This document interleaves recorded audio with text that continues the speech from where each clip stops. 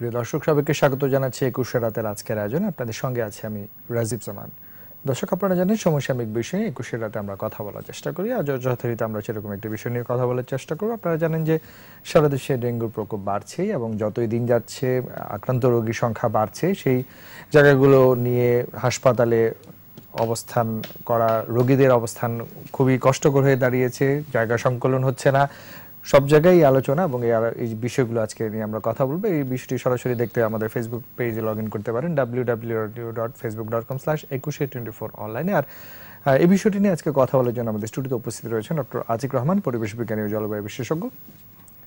সেই সঙ্গে আর উপস্থিত রয়েছেন প্রফেসর ডক্টর উত্তম কুমার বড়ুয়া, পরিচালক শহীদ সরোবর্দী মেডিকেল কলেজ হাসপাতাল। আপনাদের দুজনকে স্বাগত জানাচ্ছি আমাদের আজকে ধন্যবাদ।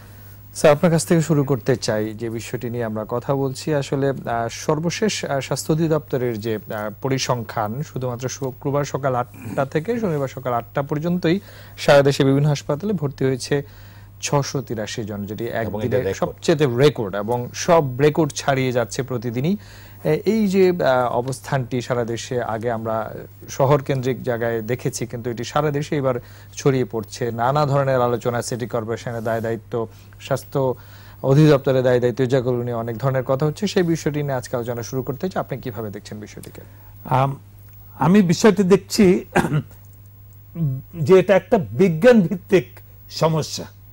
যার সমাধান হচ্ছে জনস্বাস্থ্য পরিকল্পনায় এবং কাজে। তো বিজ্ঞানটা আমাদের একটু বুঝতে হবে। আমাকে একটু প্রফেসর প্রফেসর শুনতে লাগবে কিন্তু একটু বোঝাতে হবে সবাইকে যে এর পেছনে বিজ্ঞানটা পরিষ্কার হতে হবে আমাদের কাছে। প্রথমত আমাদের এন্টোমোলজি অর্থাৎ কীট বিজ্ঞান যে আমাদের পোকাটা এটার উৎস সেই পোকাটাকে আমাকে বুঝতে হবে তার বিহেভিয়ার বুঝতে হবে কি. করছে বুঝতে হবে। খালি উড়ু উড়ু কথা বললে চলবে না। আমাদের বিহেভিয়ার এবং এটা বদলাচ্ছে। এটা প্রতিনিয়ত বদলাচ্ছে। এই বছর কেন বেশি হচ্ছে?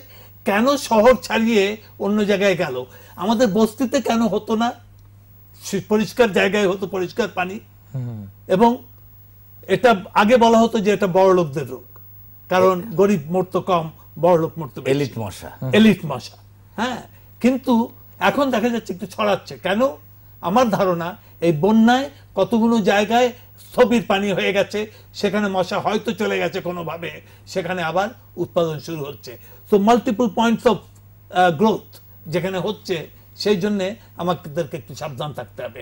আগে শুধু এই উত্তর সিটি আর দক্ষিণ সিটি কতক্ষণ মশা দিলে চলবে না, সমস্যা অনেক বেড়ে গেছে। দ্বিতীয়টা হচ্ছে এপিডেমিওলজি এপিডেমিওলজিটা হচ্ছে যে একটা রোগ যেটা কীভাবে ছড়ায়। এখন এটা ছড়ায় ভেক্টর একটা আছে। এইডিস ইজিপ্টি এটা ইজিপ্টে হতো। আজ থেকে বিশ বছর আগে আমরা খুব বেশি জানতাম না এটা সম্পর্কে।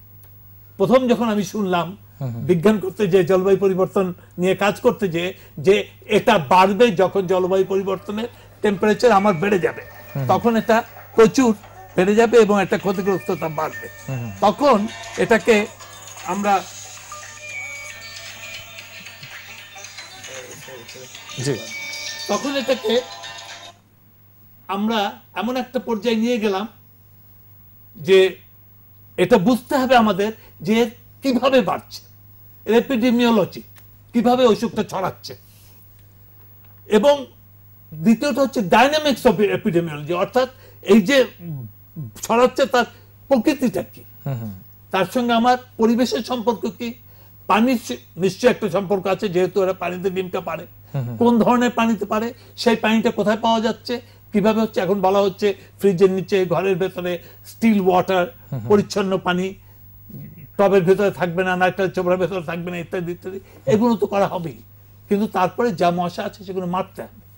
এখন সেটা মারার নতুন বিজ্ঞান তৈরি হচ্ছে যেটা একটু সময় লাগবে। আমরা সেই জন্য বসে থাকতে পারব না। সেই নতুন বিজ্ঞান একটু পরে বলছি। তৃতীয় পয়েন্ট বড় পয়েন্টটা হচ্ছে যে মেডিকেল চতুর্থ পয়েন্ট হচ্ছে মেডিকেল সায়েন্স এর পেছনে একটা মেডিকেল সায়েন্স আছে। ডাক্তার উনি উনি ওনার হাসপাতালে কি করবেন? কজনকে উনি মাটিতে শোয়াবেন? কজনকে উনি গ্রহণ করতে পারবেন?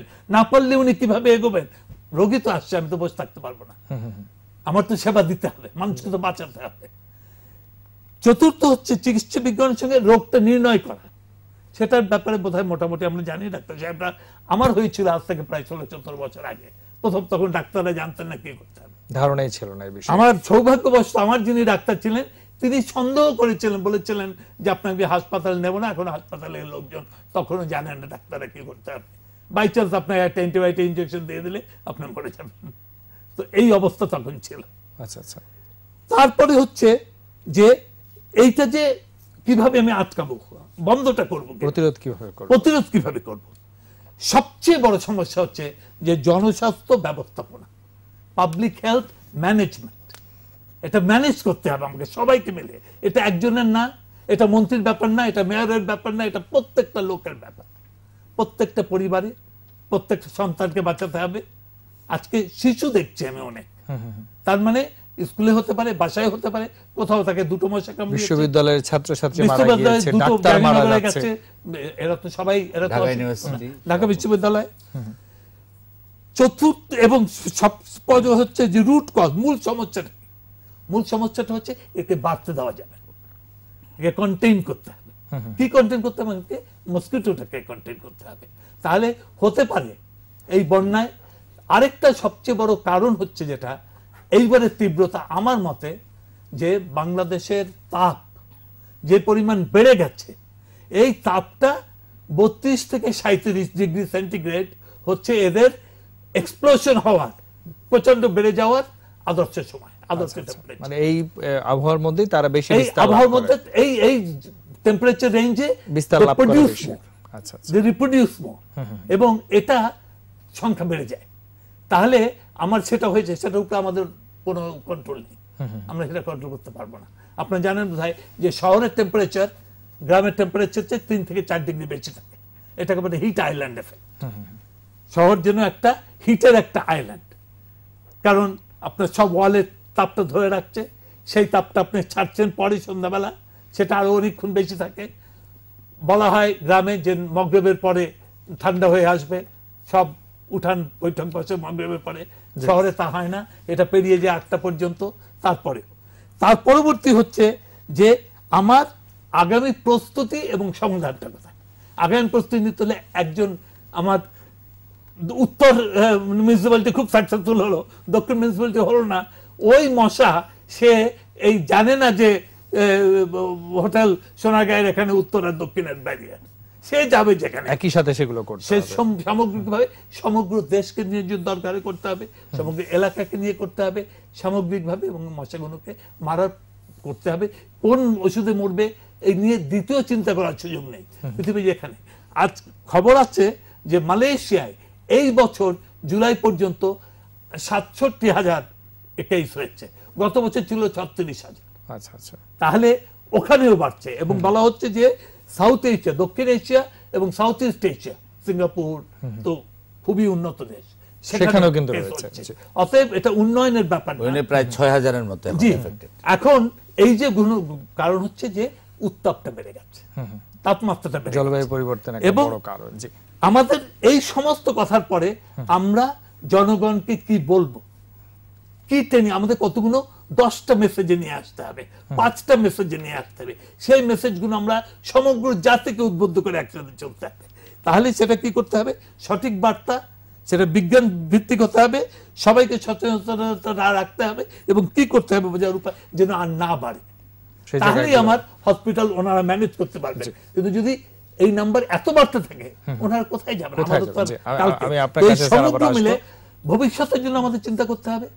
এবং সামনে কিন্তু বলা হচ্ছে যে অগাস্ট নাগাদ এটি আরও বাড়তে পারে। অন্য ধরনের মশা তৈরি হচ্ছে।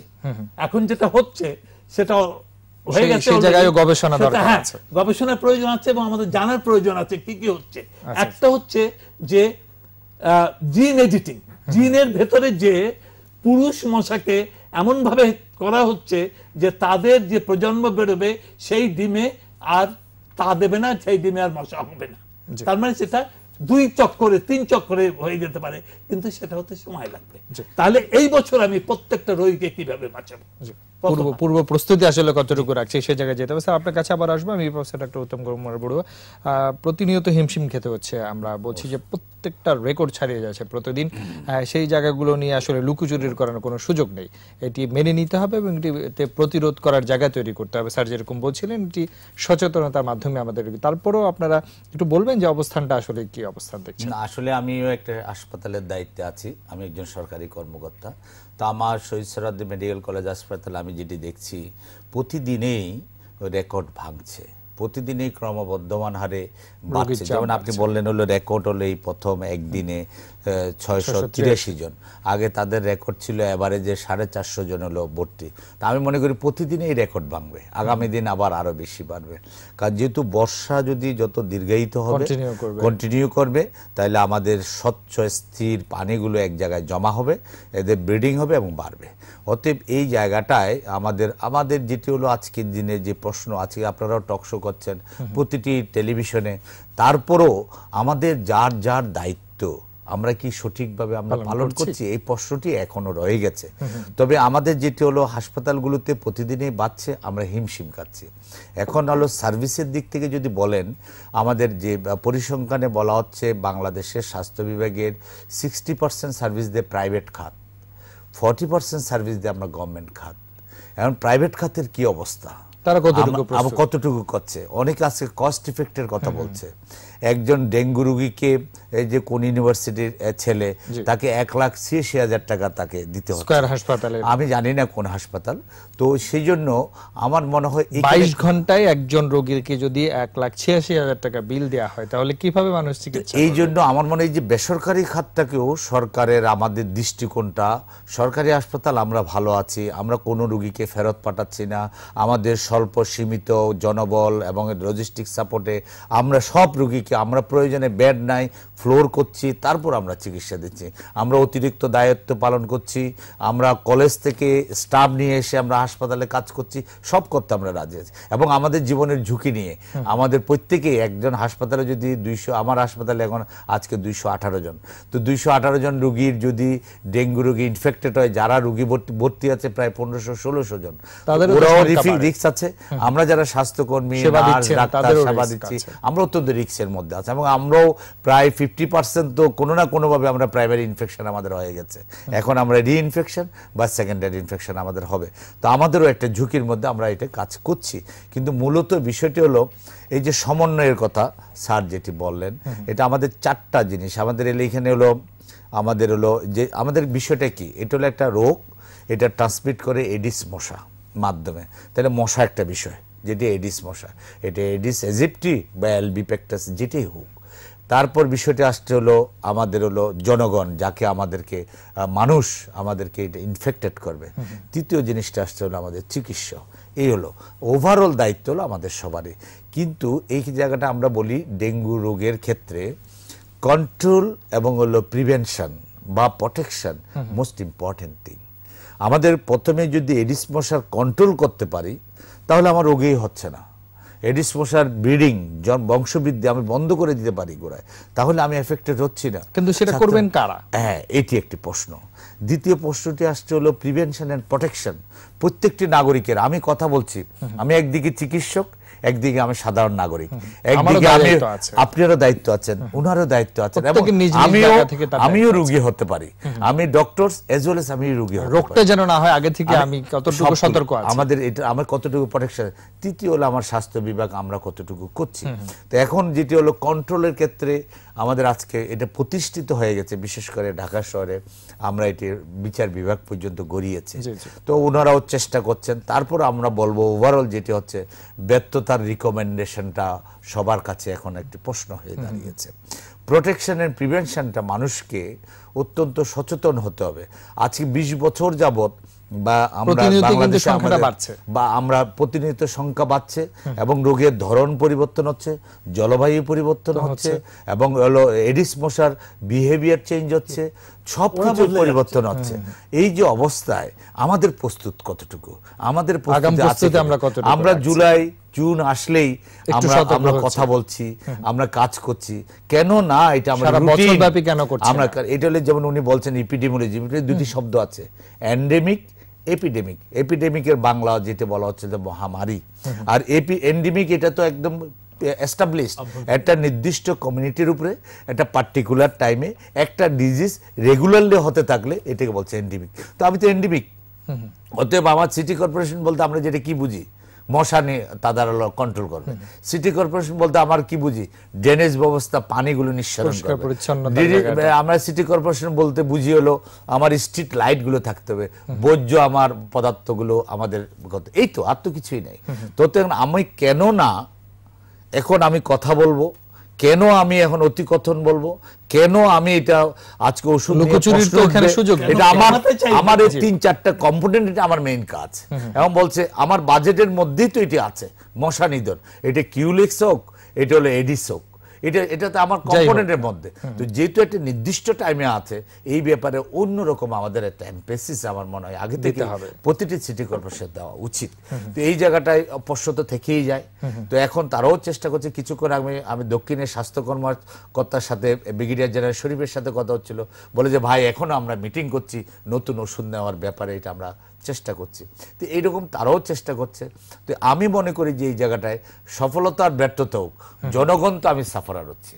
আমি তো মৃত্যুমুখে পতিত হচ্ছি।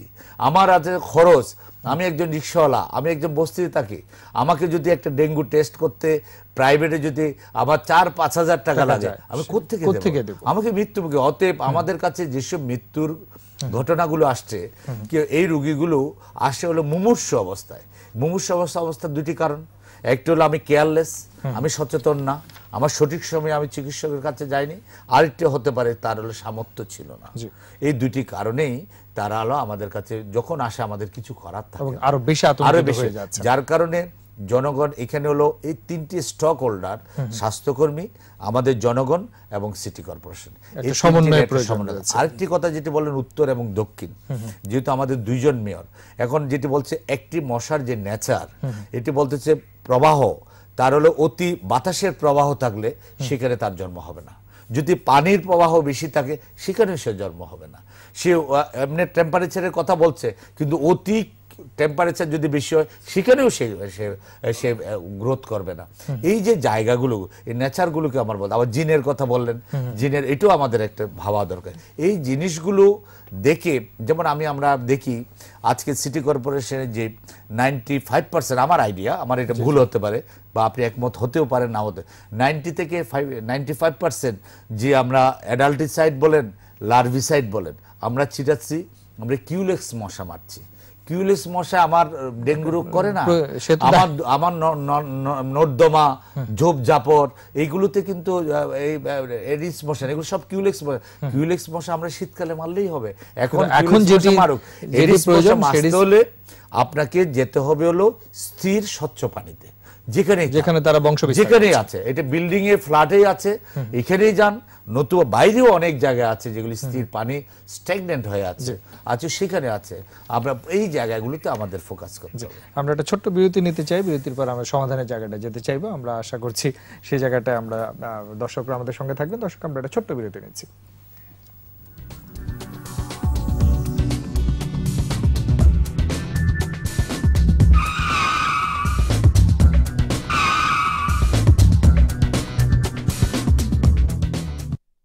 দর্শক আবার সবাইকে স্বাগত জানাচ্ছি একুশে রাতের আজকের জন্য আমরা আলোচনা করছিলাম সারা দেশে ডেঙ্গুর প্রকোপ নিয়ে। আমরা আবার ডক্টর আতিক রহমান আপনার কাছে আসতে চাই। আমরা একটু সমাধানের জায়গায় যেতে চাই গবেষণার জায়গা আপনি বলেছেন সেই জায়গাটা একটু যদি আসেন এবছর দু হাজার উনিশ সাল এবছর এটা একটা বিশেষ রূপ নিচ্ছে।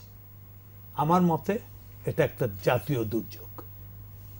সমগ্র যারা এর সঙ্গে জড়িত স্বাস্থ্য মন্ত্রণালয় আমার মিউনিসিপাল কর্পোরেশন যাদের এলজি লোকাল গভর্নমেন্ট মন্ত্রণালয় এবং অন্যান্য যারা আছেন সমস্ত ইনস্টিটিউট সবাই কাল পরশুর ভেতরে একত্রিত হয়ে সিদ্ধান্ত নিয়ে সেই সিদ্ধান্তটা পৌঁছে দিতে হবে। এটা যদি আমার আইডেন্টিফিকেশনের দরকার হয় তাহলে আইডেন্টিফিকেশন আমার হাসপাতালে খরচ কত?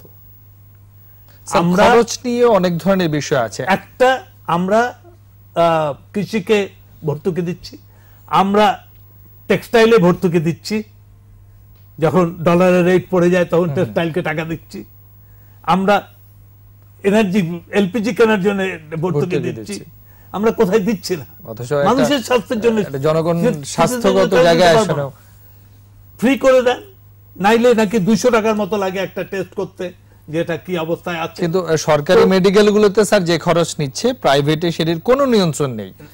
যার থেকে যা যা পারছে তাই নিচ্ছে। এটি নিয়ন্ত্রণ করবে কে? যে কোনো হাসপাতালে। প্রাইভেট হাসপাতাল যদি সরকারের সঙ্গে নেগোসিয়েট করে বলতে পারে যে আমাদের চেয়ে বেশি লাগবে তাহলে তাদের করতে বাধ্য করা হয়। এখন আমি বললাম তো এটাকে জাতীয় দুর্যোগ হিসেবে দেখতে হবে। কারণ ছড়িয়ে যাচ্ছে মালয়েশিয়ায় সিঙ্গাপুরে ফিলিপিন। ফিলিপিন্সে শয়ে শয়ে বেড়ে যাচ্ছে। এর মধ্যে কোনো লজ্জা নেই।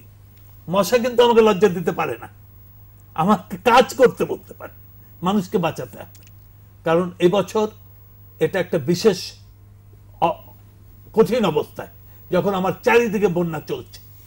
সেই সময় আমাদের এই দুর্যোগটা এসছে। দুর্ভাগ্যবশত কিন্তু আমার তো বসে থাকলে চলবে না। যখন বন্যা চলে যাবে তখন আমি দেখব। এটা তো আমাকে সেই সুযোগ দেবে না। তার মধ্যে কতজন লোক মারা যাবে? সেটা যেন না হতে পারে। এবং আমরা যেন হেমোরেজিক যে সিস্টেম যে রক্তক্ষরণ ভেতর, সেইখানে যেহেতু যেতে না হয় আমাদেরকে, সেই রকম এমন দরকার হলে যে ডাক্তাররা তাদের বেসিক ট্রেনিংটা দেওয়া আছে, তারা মোটামুটি জানেন। আজ থেকে দশ বছর আগে ডাক্তাররা যা জানতেন, তার চেয়ে অনেক বেশি ম্যানেজ করতে পারছে প্রত্যেকটা ডাক্তারই। আমার অনেক বন্ধু বান্ধব ডাক্তার তাদের সাথে আলাপ করেছি। তারা মোটামুটি ম্যানেজ সেটার একটা প্যাকেজ একটা গাইডলাইন একটা রুটিন সেটা তো হতেই পারে। এটা তো আর তিন দিনে বেশি লাগে না এটা একটা রুটিন তৈরি করতে। প্রতিদিনই যেখানে রেকর্ড ভাঙছে সেখানে এখনও পর্যন্ত তার একটি সমন্বয় সভা করতে পারছেন না। গাইডলাইন তৈরি করতে পারছেন না। আটজন ডাক্তার দিয়ে আমরা একটা জাতীয় কমিটি গঠন করে দিলাম। তারা প্রতিদিন বলে যাবে কোথায় কি করতে হবে? এই ধরনের কেস আসছে নতুন রকমের চিন দেখা যাচ্ছে, তখন কি করবেন? কারণ অন্যান্য ডাক্তাররা এখন ট্রেনিং হবে না, তাদেরকে বুঝিয়ে দিতে হবে। তাহলে এটা আমাদের স্বাস্থ্য মন্ত্রণালয়ের দায়িত্ব হতে হবে হয়তো। কোন মন্ত্রণালয়? এটা সরকারের ব্যাপার, আমাদের সে ব্যাপারে বলার কিছু নেই। আমাদের যেটা বলার আছে সেটা হচ্ছে, রোগী যেন জানতে পারে কি করতে হবে। সবচেয়ে বড় কথা হচ্ছে, সঠিক যে সংবাদটা দেয়া, যে খবরটা দেয়া, যে স্লোগানটা দেয়া, যে কাজটা করতে হবে, এই চারটা কাজ করলে রোগী তার বিপদ থেকে বাঁচতে পারবে। এই চারটা, পাঁচটা কাজ করলে ঘরের গৃহিণী তার ঘরটাকে পরিচ্ছন্ন রাখতে হবে, স্কুলের শিক্ষক তার স্কুলটাকে পরিষ্কার রাখতে পারবে, অফিসের কর্মকর্তা তার অফিসটাকে ঠিক রাখতে পারবে, যেখানে জনসম্মুখীন হয় হাট বাজারে, যেখানেই হোক। সবগুলো আমরা করে ফেললে বিপদটা থেকে কমানো। শূন্য করা তার সময় লাগবে। কিন্তু বিপদ থেকে কমানো এটা হচ্ছে যে মানে সময়টা আমাদের মনে হয় সেটা হচ্ছে স্বাধীনতা আন্দোলনের সময় সমগ্র দেশ যেভাবে একাত্র হয়ে কাজ করেছিল সেই রকম পর্যায়ে আমাদের যেতে হবে। কারণ প্রত্যেকটা লোক কেউ মরবে তো দরকার নেই তো। আমরা তো করতে পারি এখন তো মশা ভার্সাস হিউম্যান এই তো ব্যাপার। সেই মশার সঙ্গে আমার যুদ্ধ করতে হবে। তাহলে এই ব্যাপারে একটা পরিষ্কার নীতি সরকারের এগিয়ে দিতে হবে। এই মন্ত্রণালয়ের দায়িত্বে সবকিছু হচ্ছে। প্রতিদিন সকালে তাদের মিটিং হবে প্রতিদিন বিকেলে তাদের মিটিং হবে। তারা সেদিনের প্রোগ্রেস বলে যাবে কতজন হয়েছে। বেশি লোক ক্ষতিগ্রস্ত হলে তাতে দেশের কোনো লজ্জা নেই। এখানেই আমাদের কাজ করতে হবে। তাহলে আমাদের সবাইকে নিয়ে করতে হবে। এবং কেউ মরতে চায় না কিন্তু। রোগীও মরতে চায় না। ডাক্তার সাহেব উনি বললেন উনি এক্সপোজ হতে চান না। ওনার পরিবারও এক্সপোজ হতে চান না। সবাইকে আমাদের এগোতে হবে। তা আমি যে কটা বললাম যে যে কটা বিজ্ঞানের পদ্ধতি আছে প্রথম এই বিজ্ঞানগুলোকে আমার যার যার কাজ সে করে যাই তারপরে একসাথে করি এবং এটা এমন কোনো দুরূহ ব্যাপার না। কিন্তু আমরা যদি আজ থেকে তিন মাস আগে সঠিক সময়ে যদি আমরা আগাম প্রস্তুতিটা তাহলে রাখতাম তাহলে হয়তো বা আক্রান্তের সংখ্যাটা এই জায়গাটায় হ্যাঁ, দাঁড়াতো না। ঠিক সময় করলে আমার বিপদটা আসতো না হয়তো বা হয়তো এত এত ধারণ কমে যেত। এখনও বৃহৎ আকার হয়নি সেই জায়গাতে এখনও সতর্ক হতে হবে এখনও মানুষ মরছে কিন্তু যেটা বললাম সিক্সটি এইট থাউজেন্ড হচ্ছে সিক্সটি সেভেন থাউজেন্ড হচ্ছে মালয়েশিয়া এই গত এই বছরে জুলাই মাস পর্যন্ত জুলাই পনেরো পর্যন্ত। গত বছর এটা ছিল ছত্রিশ হাজার তাদের। তার মানে। বেশি। হ্যাঁ তাহলে সেইখানে যদি আমাদের যেতে না হয়। সেই এবং জায়গাতে দুর্ভাগ্যবশত আমাদের বন্যা আছে এটাকে আমাদের স্বীকার করে নিতে হবে। আমি চাইলেই তো আর বন্যা পানি চলে যাবে না। সেই অবস্থান জেনে আমাকে এগোতে হবে এবং দুর্ভাগ্য জাতির জন্য এই মুহূর্তে যে আমাদের একটা বড় স্বাস্থ্যগত স্বাস্থ্য সংক্রান্ত একটা দুর্যোগ আর আমাদের পানি সংক্রান্ত আর একটা দুর্যোগ। দুর্ভাগ্যবশত পানি এবং স্বাস্থ্য দুটো জড়িত। দুর্ভাগ্যবশত এর সঙ্গে একটা তাপমাত্রারও একটা সংযোগ আছে। তাহলে আমাদের সেই জায়গা থেকে পরিবেশ বিজ্ঞানীরা তারা কীভাবে বুঝছেন বলবেন? পৃথিবীতে কোথায় জ্ঞান কি আছে সেটা উপস্থাপন করা সব মিলিয়ে আমাদের এগিয়ে যাওয়ার মতো যথেষ্ট লোকজন আছে ক্ষমতা আছে সরকারের প্রস্তুতিও আছে যদি তারা এগিয়ে যেতে আমি একটু উত্তম আপনার কাছে আসতে চাই যে আপনি বিরতির আগে বলছিলেন যে এইগুলো নিয়ে জনগণের মাঝে বেশ প্রতিক্রিয়া রয়েছে যে আহ, যেহেতু একটা ম্যাসিভ আকার ধারণ করছে, প্রাথমিকভাবে যে টেস্টগুলো করতে যাচ্ছে, সরকারি হাসপাতালে যেখানে সে খুব কম খরচে যেতে পারছে, বেসরকারি হাসপাতালে সেটার কোনো মানে ধরা ছোঁয়ার কোনো মাত্রা নেই, যে যা খুশি চার্জ করছে। এটি কীভাবে নিয়ন্ত্রণ করা যায় এবং এই যে জায়গাগুলো আসলে কীভাবে আরও সহনীয় পর্যায়ে আনা যায়? আসলে এখানে জনগণ যে সংখ্যায় আছে, এটা নো ডাউট আমি যেটি বলছিলাম কিছুক্ষণ আগে, আমি একজন চিকিৎসক, আমি আবার ওই পারে গিয়ে রুগীও হতে পারি। আমি একজন ডেঙ্গু রুগীও হতে পারি।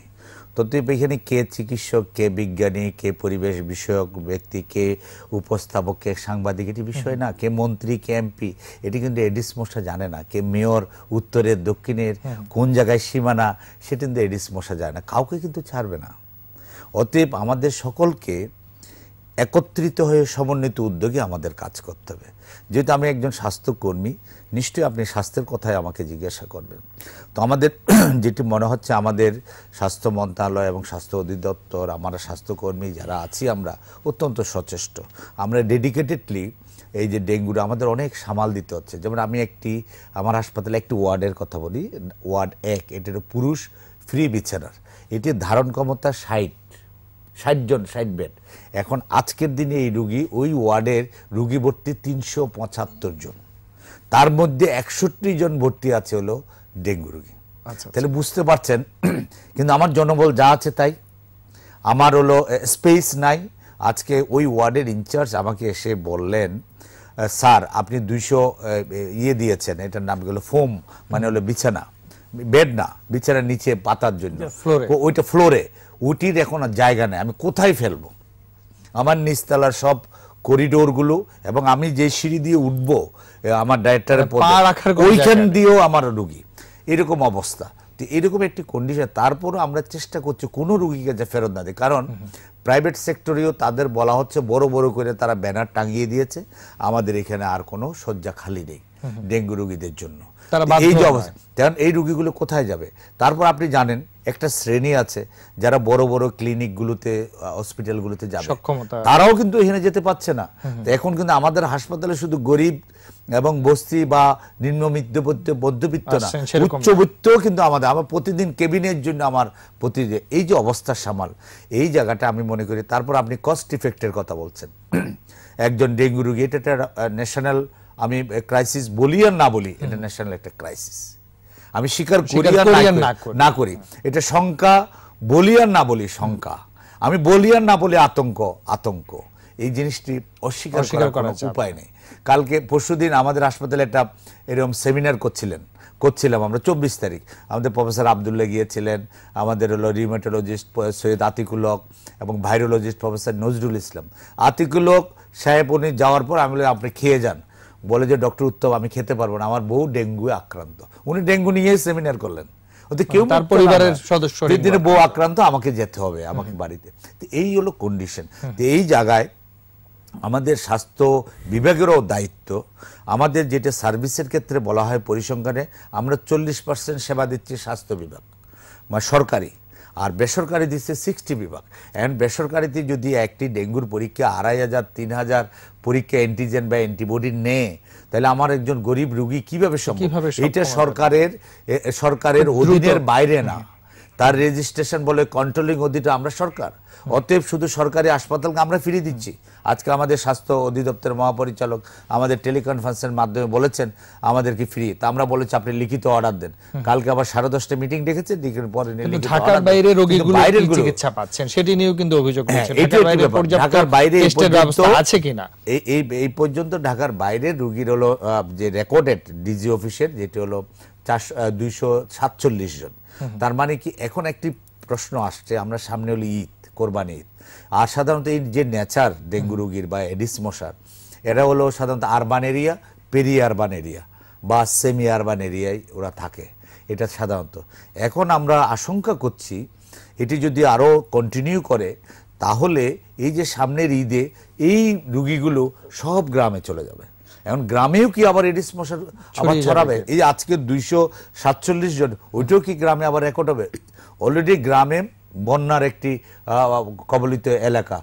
তার ডায়রিয়ার বা অনেক প্রকোপ এখন দেখা দিয়েছে। এইদিকে আব- আবার যদি ডেঙ্গু গিয়ে গ্রামে। পড়ে তাহলে আমরা যে আরবান এবং পেরি আরবানে যে এলিট মশাগুলো আমাদের এই রোগগুলো জন্ম নেওয়া এখন কিন্তু এলিট মশা সাধারণ মানুষের কাছেও ছড়িয়ে দেওয়া সম্ভব। অতএব স্বাস্থ্য বিভাগের আমাদেরও দায়িত্ব এখন শুধু শহর না গ্রামেরও আমাদের প্রস্তুতি নিতে হবে। উপজেলাগুলো শহরগুলোতে আমাদের প্রস্তুতি এবং ডায়াগনস্টিক টুলসগুলো আমরা যেটি বলছিলাম আমরা কিছুক্ষণ আগে আমরা ভর্তুকি সরকার? কোন জায়গায় দিচ্ছে না? কৃষিতে দিচ্ছে বিদ্যুতে দিচ্ছে প্রত্যেকটি জায়গায় খনিজে দিচ্ছে প্রত্যেকটি জায়গায় আমরা আমরা ভর্তুকি দিচ্ছি। এরকম একটি ক্রাইসিসে কেন আমরা সরকারি শুধু কেন আমরা ফ্রি দেব? বেসরকারিগুলোকে একটা সামাজিক তাদের একটা রয়েছে। একটা কাট মার্ক করে দেওয়া যায়। তিনটি পরীক্ষা। সিবিসি যেটার মধ্যে আমরা প্লাটেলেট এবং অনু অনুচক্রিকা এবং আমরা হেমাটোক্রিট দেখব। আর একটু হলো অ্যান্টিজেন প্রথম তিন দিনের জন্য জ্বরের জন্য হলো এনএস ওয়ান আর হলো আইজিজিএন এম এটা পাঁচ দিন এই ছয় তিনটি পরীক্ষা করতে কত টাকা খরচ হতে এটি আমরা সরকারি হাসপাতালগুলো এটির খরচ হলো এক হাজার টাকা মাত্র। আচ্ছা। আর এটি যদি বাইরে হয় এখন যেটি তো অনেক ধরনের আপনাদের মিডিয়াদের মাধ্যমে আমরা জানতে পাচ্ছি এক একজনের জন্য অন্তপক্ষে এই পরীক্ষাগুলো করতে পাঁচ থেকে ছয় হাজার টাকা দিতে হচ্ছে। শুধু পরীক্ষা। পরীক্ষা। আর যদি সে অন্য বিষয়। আরও অন্য বিষয়। তো এই জিনিসগুলোতে অতি সত্তর। আমাদের একটি একটা। শৃঙ্খলায় আমাদের আনা উচিত। আরেকটি যেটি বলছে গবেষণা বিশ বছর অনেক দিন হয়েছে। এই ডেঙ্গু রোগীর জন্য আমি কি ভ্যাকসিনেশন আনব? আমি কি জিনের যে রিসার্চ করব? বিশ্বগুলো কি করছে? উন্নত বিশ্বগুলো। উনি বলছেন যে শুধু মালয়েশিয়ার কথা। ফিলিপাইনে আজকের দিন পর্যন্ত প্রায় পাঁচশো রুগী মারা গেছে। তাদের এক লাখ দশ হাজার লোক এফেক্টেড এবং রেকর্ডেড হলো এই ডেঙ্গু রোগ কিন্তু প্রথমেই ফিলিপাইনে হয়েছিল। এখনও ফিলিপাইন যতই উন্নতের কথা বলুক তারা কিন্তু ডেঙ্গু রোগের কোনো ব্যবস্থা নেয় নাই। এবং মালয়েশিয়ায় তিরানব্বই জন লোক মারা গেছে। এবং সিঙ্গাপুরে প্রায় ছয় হাজার লোক। আর এই জিনিসগুলো আমাদের ভাবা দরকার। আমি কি ভ্যাকসিনেশন আসব আনব নাকি না? কারণ ভ্যাকসিনেশন নিয়ে একটি প্রশ্ন আছে। ভ্যাকসিনেশন বলছে কার্যকরী কতটুকু? বলা হচ্ছে সেভেন্টি অ্যারাউন্ড কেউ sixty eight sixty seven seventy seventy two percent তাও তো আমাদের এটা কার্যকর। এটি এখনও পর্যন্ত অ্যাপ্রুভড না। এটা ওয়ার্ল্ড হেলথ অর্গানাইজেশন এটা ভ্যাকসিনেশনগুলো বিশটি দেশে সেকেন্ড ফেজ ট্রায়াল চলছে। আচ্ছা, আমাদের এশিয়ান কান্ট্রিগুলো পাঁচটা। এবং হলো ল্যাটিন আমেরিকা হলো পনেরোটা দেশ ট্রায়াল এখন থার্ড ফেজ ট্রায়াল চলবে। ওই জায়গায় আমরা যাব কিনা? আমরা আমরা ওয়ার্ল্ড হেলথ অর্গানাইজেশনের কথা বলব কিনা? বাংলাদেশ ইন্ডিয়া এখন ইনক্লুডেড না। ওইখানে আমরা ঢুকবো কিনা? বা এই জিন এক্সপার্ট গুলোতে আমরা করা দরকার কিনা? আমাদের প্রতি বছরের বাজেটগুলোতে জুন মাসে এসে আমরা থোক বরাদ্দের কথা বলব কেন? আমরা এটা আগে থেকেই আমাদের ডেঙ্গুর জন্য কোনো ব্যবস্থা থাকবে কিনা? এই জিনিসগুলো আসলে সমন্বিত। যাদের জলবায়ু পরিবর্তন সবগুলো ইস্যু আমাদের কিন্তু আছে ভাবার প্রয়োজন আছে আমি মনে করি। স্যার আমরা একেবারে শেষ দিকে চলে এসেছি যাবার আগে অল্প কথাই যদি মূল কথা আমরা মোটামুটি একই ধরনের কথা বলেছি। উনি ডাক্তার হিসেবে এবং স্বাস্থ্যকর্মী হিসেবে তার দিক থেকে আমি বিজ্ঞানী হিসেবে আমার দিক থেকে বলেছি বা সামগ্রিক পরিকল্পনা। মূল কথাটা হচ্ছে সমন্বয় সমন্বিত পরিকল্পনা। এই মুহূর্তে এটা জাতীয় দুর্যোগের পর্যায়ে আছে এটাকে সেই হিসাবে ট্রিট করতে হবে। একই সময় আমাদের ভবিষ্যৎ পরিকল্পনা নিতে হবে। কীভাবে? আগামী বছর যেন এখানে দাঁড়িয়ে আবার একই কথা না বলি। তখন বলতে পারতে হবে যে আমরা এই করে ফেলেছি এতগুলো মৃত্যুর সম্ভাবনা ছিল আমরা কমিয়ে এনে এততে করেছি। এবং সামনের দিনগুলোতে আরও কমে আসবে। আর যেন ক্ষতিগ্রস্ততা না আসতে হয় আমরা এইভাবে এগোচ্ছি। আমার বড়ভাবে আন্তর্জাতিক পর্যায়ে যেতে হলে কি করতে হবে? জলবায়ু পরিবর্তনের ফলে তাপমাত্রা আরও বাড়বে কোনো সন্দেহ নেই। আপনি মার্কিন যুক্তরাষ্ট্র দেখেন কানাডায় দেখেন কি ইউরোপে দেখেন এত তাপমাত্রা কারা তাদের জীবনে কোনো দিন দেখে।